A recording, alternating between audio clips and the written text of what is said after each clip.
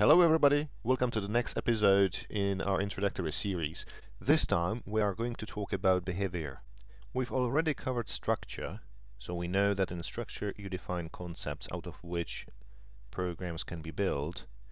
Uh, then we talked about constraints, which is the place where you can further restrict the shape of the AST that's built out of your concept. The last aspect that somehow defines the aspect of your language is behavior. In behavior, just like in object-oriented programming, be in behavior you define methods for your concept. So functionality that will be attached to your concept and that can be then invoked on nodes of the corresponding concept. So let's open abstract command first. If you want to open something quickly, hit Control N or Command N and then you just type the name of the node that you want to open. So abstract abstract command is what I want. Okay, so this is a super concept for many concepts used in the in the robot language. So perhaps that's, that's a good place where I could create some uh, methods that then would be inherited by the extending concept. So uh, for this concept, I create new behavior aspect.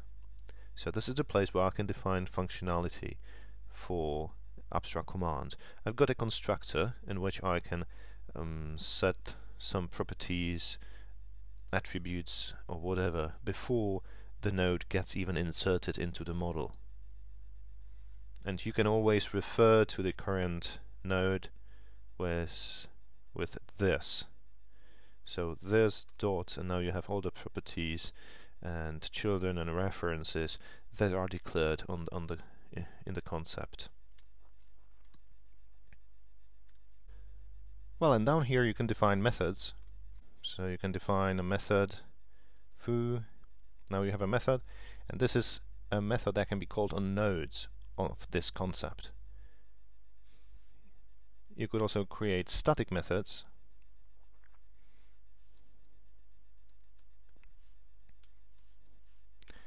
So now this method can be invoked on a concept. So the distinction non-static and static here means callable on a node, callable on a concept. And the methods will be only defined on the concepts or on the nodes of a con of this concept, not on the sub-concepts. If you would like to create polymorphic methods, so methods that uh, will be can be overridden on some sub-concepts or nodes of subconcepts, then you make them virtual. Both static and non-static methods can be made virtual. So now in uh, subconcepts you could override these methods and define your own functionality.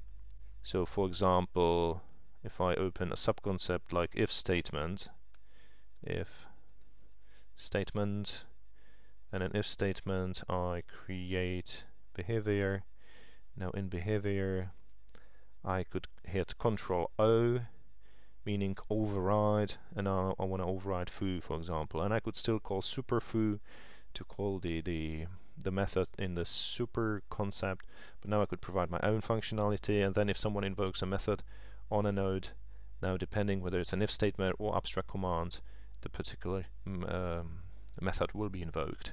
Now I could also, if I remove this and get back to my abstract command, I could make both methods abstract, so they have no default implementation, so they have to be implemented, they have to be overridden in subconcept.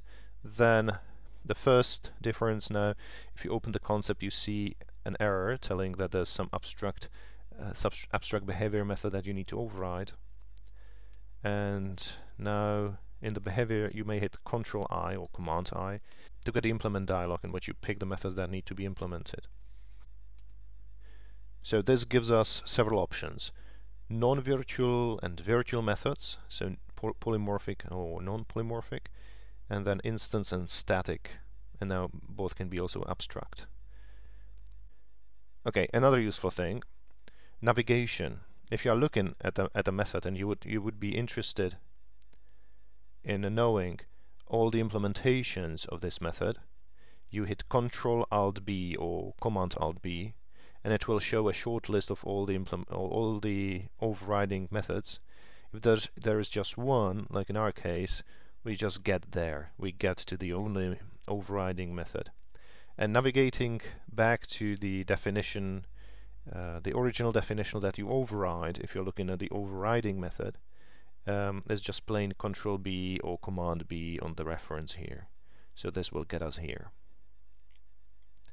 Now in calling methods, now for example, let's say in this foo method, I would like to first I will I will make it non-abstract. So now this is no longer abstract, so I don't need to implement it in every single command. So let's say I want to clear the I would I would like to clear the if the false branch. I've got a false branch here, which is a command list, and I would like to clear it in the in the foo method. So obviously I could directly go and clear it, but how about delegating to the delegating to the command list? So the command list here should be able to clear all the commands. So here's all the commands.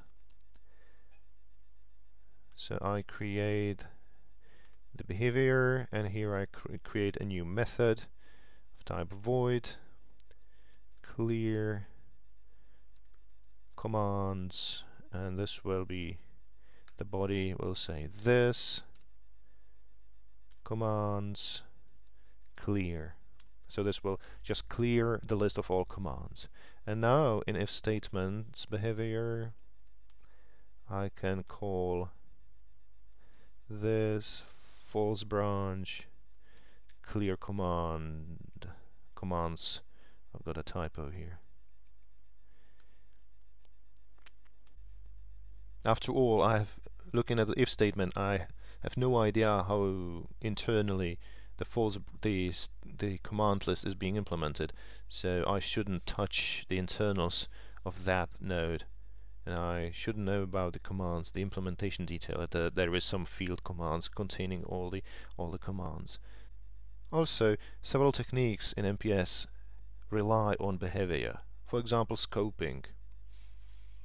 If you want uh, some if you want some concepts to add items into scope, for example, you might have a for loop, and that for loop has some local loop variable, and you would like that loop variable to be available to expressions inside the for loop. Then you have to alter the scope. So for that purpose, uh, MPS has a scope provider interface which in behavior defines several methods that you are aimed to override. They, they're virtual after all. So these methods need to be implemented so that your concept can contribute new items to the scope, new variables.